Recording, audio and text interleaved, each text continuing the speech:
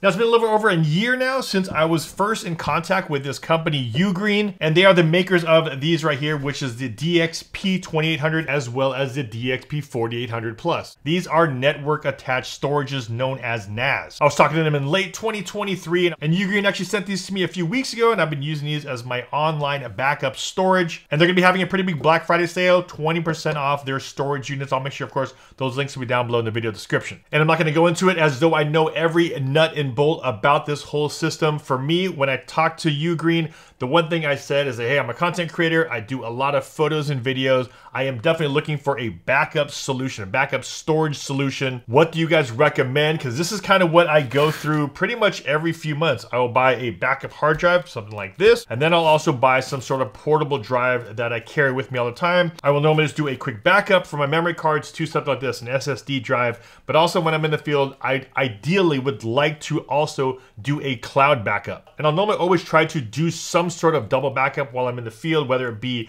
to an SSD drive as well as my laptop hard drive, or I will do my SSD drive and then possibly up to something like Dropbox. Now, why would I even need stuff like this? Well, if you were to think about it, if I were to simplify things, this is like your personal storage, your online personal storage. So if you were to think of something like a Dropbox, except this is your Dropbox, this is your personal Dropbox. Once your hard drives are in here, all you would do is configure it with your network. You would plug in the ethernet cord here, hook it up to your existing home network. You can now pull files or upload files directly to these hard drives. Now, as a content creator, having that dual or redundant backup is definitely important, but using something like this for your clientele is also pretty key because of the fact that you can actually grant access to your folders, to your files, directly from these drives. As long as they can remote in, they will also have instant access to your storage. And it's good for collaboration because like I said, editors, producers, if you wanted to access and make edits or change things, it all happens in real time. Now, when it comes to setup and installation, I was honestly kind of intimidated by this because if you're dealing with it's just a ton of hard drives,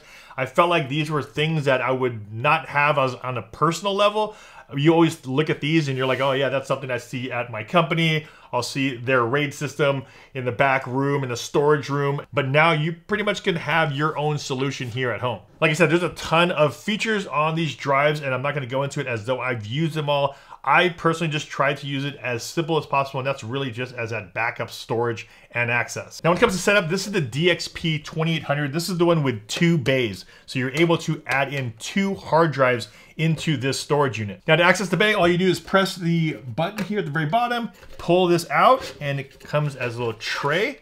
And there you go. I have the four terabyte Western Digital in here. This is what Ugreen actually sent me. They sent me two four terabytes for this system as well as four four terabytes for this one right here because this one actually is a four bay system. Now each one of these bays can support up to a 24 terabyte hard drive. This one is a little little baby four terabyte one. But if you have two of these, two 24s in here, that gives you 48 terabytes. As well as you can take this bottom off here and you can actually put in two SSD drives up to eight terabytes each, giving you a full capacity of 64 terabytes on the 2800. And like I said, Ugreen actually made it pretty simple to set up. All you do is drop the hard drive into this tray and you press this down and it'll lock into the screw holes here on the side. Drop it into the slot and then push it back lock it.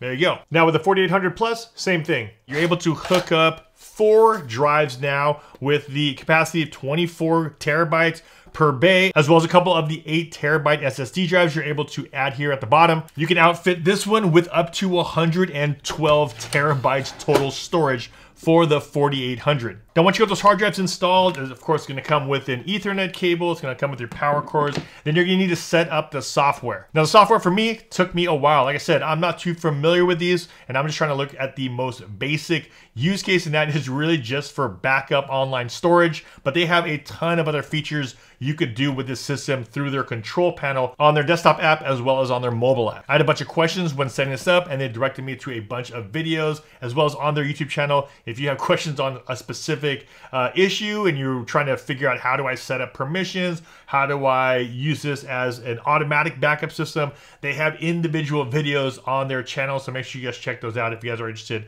in these. Now, like I mentioned earlier, this is like my personal, I would say online storage, my personal Dropbox that I wanted just to have all my files uploaded to. And for most of the scenarios, I was getting faster speeds trying to upload files to these right here versus something like Dropbox. Now when it comes down to build quality, these actually feel really nice. You have this nice dark gray aluminum alloy kind of hard case. And then when it comes down to the hard drive trays, it is this molded hard plastic on the inside. And I do like how it's easy it is to set up the hard drives. Like I said, this just slides right out and you just pull the hard drive out just like this.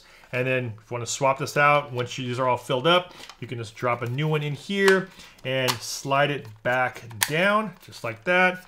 The pins drop right into the hole and then you just pop that back in and lock it up. When it comes down to processing speed, we do have the 12th gen 4 core Intel processors on both. Now when I was doing my research a little bit earlier this year, one thing that stood out to a lot of other people that have used these is how quiet they are. Like I said, I don't have any other system to compare them to, but these are pretty quiet. The only time you'll really hear these is of course if you're accessing a lot of data from it or if you're loading it up, if you're either uploading a bunch of footage to it or if you're downloading, You'll of course hear the hard drives moving around, but I don't try to access anything or use it, especially if I'm going to be recording videos. Something I like is a little small touch, but it's pretty cool because it is a removable screen that does help filter out any dust that were to come in here. Next feature I really like is that remote access that you do have. So if you are in the field and you wanted to upload or access any of the files on here, as long as you have an internet connection, you can tap into all of your storage. I think this is one of the coolest parts about having your own system is that as you can see here, I'm just uploading files directly to my hard drive that is at home, which is really cool.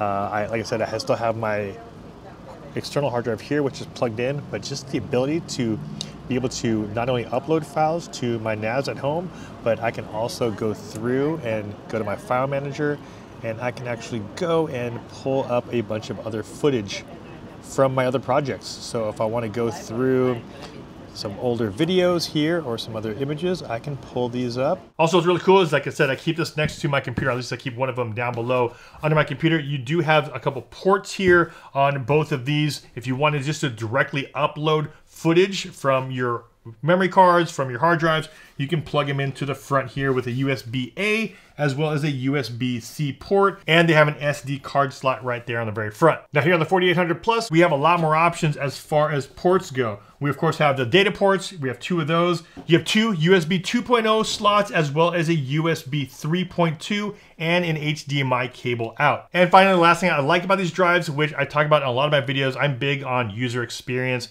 How easy are they to use? How easy are they to access your footage? The nice thing about Ugreen is that you are able to access your footage, whether it's gonna be on your desktop or on a mobile app. And the one thing I found pretty useful is their search app. I wasn't expecting it to be that fast. However, if you do tag a lot of your stuff better, it'll of course search and be able to find them and query them a lot faster. But if I were just to type in a couple keywords in there, it actually pulls it up really quickly of all the files that have that in its name. Now, besides the standard search function, Ugreen has also implemented AI Album Assist. Now, what that means is you can actually train the AI model to recognize specific things, whether it's gonna be people, objects, pets, cars, vehicles. And to train a model is actually pretty simple. All you have to do is either upload or select about 10 images. And here, for example, I was actually using the DJI Mic Mini to train the model. You tell the AI what to look for in the image, and then it'll start grouping them into an album. Then when you search for those particular types of photos in the future, it'll then have them grouped. And there it is, guys. Just a pretty high level overview of how I've been using these right here. This is the DXP 4800 Plus. This is the 2800. This can hold up to 112 terabytes. And of course, you are able to set this up as a full RAID system. So you're gonna have that redundancy. You'll have hard drives that can back up to one another. And that redundancy is super important, like I mentioned, because you always are gonna wanna have at least two copies of everything. And with that RAID system that you set up here, this ensures you that if you do have a failed one drive, if one of the drives fails, you know it's gonna be backed up to the second drive. And of course, if you guys are watching this before Black Friday, they are gonna have some pretty big sales on both of these, as well as a bunch of other ones on their website. I will make sure those are linked down below in the video description. As always, if you guys got some value from this video, a big like would be much appreciated. This is Aldryn Estacio with FlytPath.com. I'll see you in the next one. Take care.